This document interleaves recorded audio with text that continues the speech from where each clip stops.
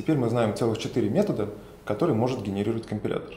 Это конструктор по умолчанию, он генерируется в том случае, если не объявлено других конструкторов. Это конструктор копирования, это оператор присваивания и деструктор. При этом, если нам вдруг потребовалось описать конструктор копирования, оператор присваивания или деструктор, то это означает, что в нашем объекте есть некоторые сложные данные, которые надо копировать или освобождать специальным образом. Поэтому если нам потребовалось определить хотя бы одну из этих трех функций, то это означает, что, скорее всего, нам нужно определить и оставшиеся. Поэтому если вы в своей программе у какого-то класса определяете конструктор копирования, например, то это значит, что надо определить и оператор присваивания, и деструктор.